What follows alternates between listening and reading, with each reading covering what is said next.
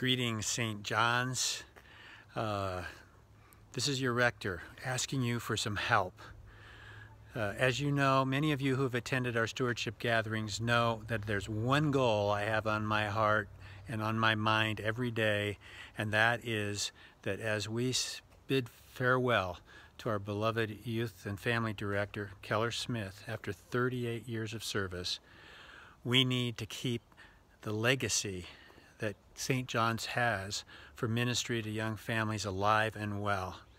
And we have an entire team of younger families at St. John's working with a consultant, Ministry Architects, that is helping us shape an exciting future for families and youth as we move forward.